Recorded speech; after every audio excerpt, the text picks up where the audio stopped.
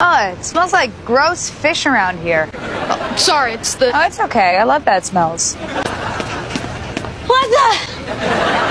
How come I'm the one who had to run behind the motorcycle?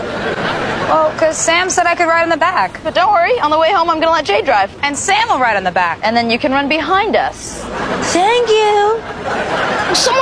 Will someone please help me with my tuna problem? Relax. What am I gonna do? You know how much money I'm gonna lose on these dumb fish? Hang on, hang on a sec. Uh, how, uh, how big would you guys say this tank is? About 25 feet. Well, I'd say it's about 21 feet. Hey! That tank is exactly 25 feet across. So the redhead is wrong. Hey, Dice. I think I might know how you can make some money off of these tuna fish. What you thinking? Motorcycle jump? Motorcycle jump.